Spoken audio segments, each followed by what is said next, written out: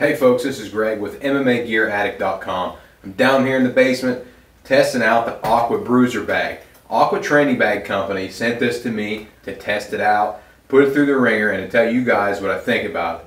Well, the verdict is in. It's a great bag.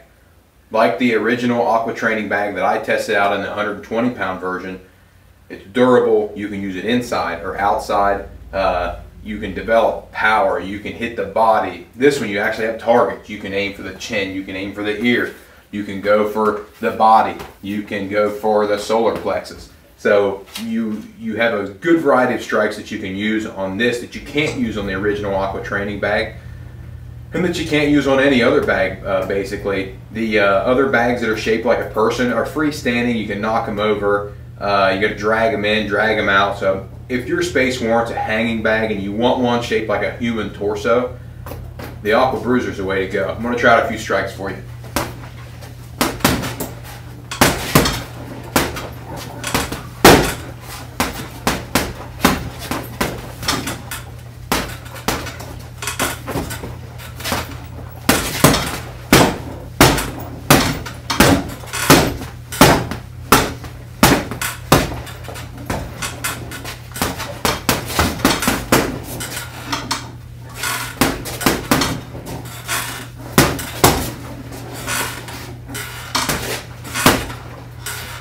So you can see how this thing works. It sways a little more than your original Aqua bag just because you're hitting angles and the bag is actually swinging a little bit.